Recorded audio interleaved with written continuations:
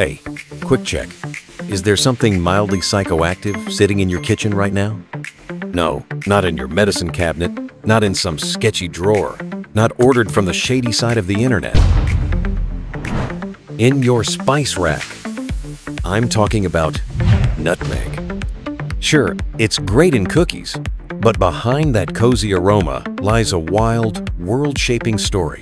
Before we dive into brain chemistry, let's take a detour into history. Because this humble spice didn't just spark wars, it literally helped build cities. The Spicy Backstory In the 1600s, nutmeg was so valuable it was traded ounce for ounce with gold. The Dutch were obsessed with controlling the global nutmeg trade, which, at the time, only came from a few tiny islands in Indonesia, especially one called Run.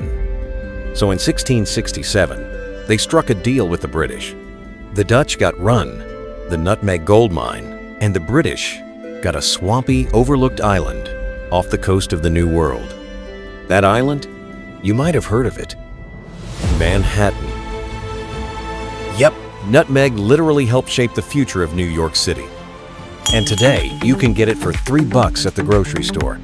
Wild. But nutmeg isn't just historically spicy, it's chemically spicy too. Let's zoom in from the 1600s to your liver and see what this stuff is doing inside you. Nutmeg contains a few naturally occurring compounds that are chemically similar to psychoactive substances. Myristicin, elemicin, safrole, and a dash of methyl eugenol. Individually, these compounds aren't particularly strong. But when you eat nutmeg, your liver kicks into biochemist mode, transforming those base molecules into entirely new ones. Here's what they might turn into. Myristicin can metabolize into 3-methoxy 4.5-methylenedioxyamphetamine, MMDA, a compound chemically related to MDMA. Think of it as MDMA's shy cousin, it might offer a little euphoria and some sensory shifts, but it's more of a mellow poet than a dance floor maniac. Elemicin may convert into trimethoxyamphetamine, TMA, a group of compounds structurally related to mescaline. Some versions of TMA can cause light hallucinations, altered thinking, and a sense of dreamy detachment like you're in a mildly weird indie film directed by your liver. To be clear, these aren't recreational drugs in the traditional sense. They're unpredictable, slow, and subtle.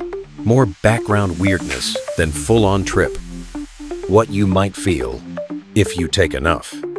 So, what happens if you consume around 5 to 15 grams of ground nutmeg? After 3 to 6 hours, yeah, it's a slow burn. Possible effects might include a light buzz or floating sensation, distorted time, think, how long have I been blinking? Heavy, sluggish body, drowsiness, minor visual or audio distortions, a bizarre looping inner monologue like your thoughts are bouncing around an echo chamber made of molasses. But here's the catch. Nutmeg trips are famously muddy.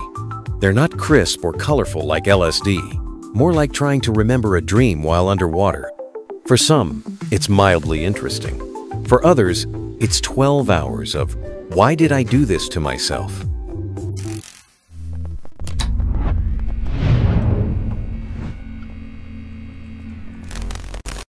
What about nutmeg oil? Nutmeg oil, and its sibling mace oil, is a concentrated extract stripped of most of the inactive plant matter. Some adventurous folks use it in extremely small doses or through aromatherapy. If you're going to experiment, do not exceed 1 milliliter. Reported effects include clearer thoughts, slight mood lift, calm, cozy relaxation, Basically, it's like microdosing the spice cabinet, but we mean micro, drops, not shots. It's nutmeg, not tequila. Side effects, aka the nutmeg hangover. Warning, never redose before at least six hours have passed. Since nutmeg takes so long to kick in, it's dangerously easy to overdo it, and the hangover is no joke. Too much nutmeg can hit you with the kind of regret typically reserved for gas station sushi. Here's what you might face. Nausea, dry mouth, brain fog, fast heart rate, anxiety, or paranoia. A long, slow come down that can stretch up to 24 hours. Not because it's powerful, but because it's slow, and your body's just not equipped to handle that many Frankenstein molecules all at once. If you overdid it, hydrate like you're training for a marathon. Eat something fatty, it might slow absorption. Get comfy, dim the lights, and chill. Avoid caffeine and alcohol, they can only make things worse. And no, calling the ER to say, I overdid it with the baking spices will not be your finest moment. Nutmeg isn't a drug, but it is technically psychoactive.